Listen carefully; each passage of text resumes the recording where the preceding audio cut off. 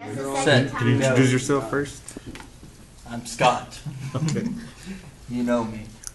Your APU, which is your external generator or battery that your jump start cables are what starts here. Re- APU relays Yeah, this is what how we you go turn on.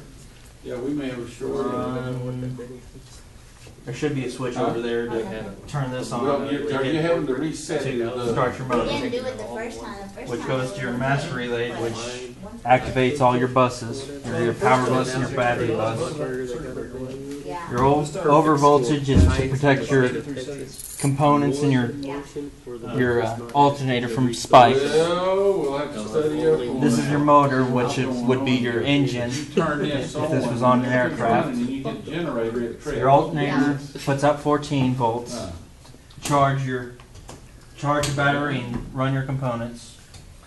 The shunt is the precise resistor that you use to measure your Yep. Amperage. We got, got something there. Voltage regulator is to there. regulate it to But, uh, exactly 14 volts. All my for all your components. Okay.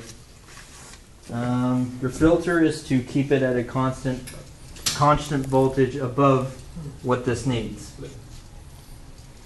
And the ground bus is where everything attaches to get back to the generator or, or your alternator or your battery. So now we've blown. Your voltmeter everything. measures the voltage Yeah. voltage across your uh, No, I mean, voltage across your ground bus to your it should, it should. power it bus. should work and, uh, diameters across your shunt. and, The bus is just showing that this is I just thought These are the first activated. time, since we had both of Yeah. these Your master running at the same switches hour, are and self-explanatory, that was just the straw alternator above the switch. camel's back, but It's That's not plugged in right now, is that's to No, no, your don't do that because I I'm want sorry, excuse me, Washington. that's to your it? uh, these are your circuit breakers for Okay. your field coils and the alternator itself. I believe that's right. I may be wrong. Who knows? and do you want me to continue? It's up to you. Well, you've got you your do. Come on this navigation side so you can get lights. it. 'Cause you're Your- sending me that. the resistor to dim them. You got your landing light. hard to turn that around. Those are self-explanatory. Your flasher flasher unit, which is just an oscillator to keep or with a precise Goes in one way. precise oscillation to get these to blink. Starter relay, Sure. which just goes on and off.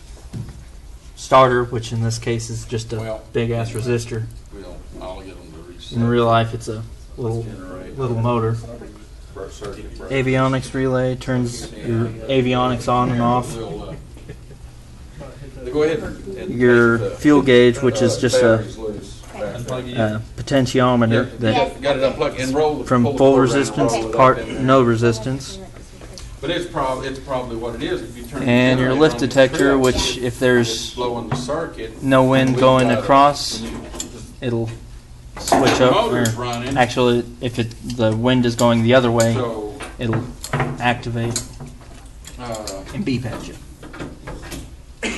That's all I can. All there is to describe, yeah, we'll really. the- We'll try to figure it out. Okay.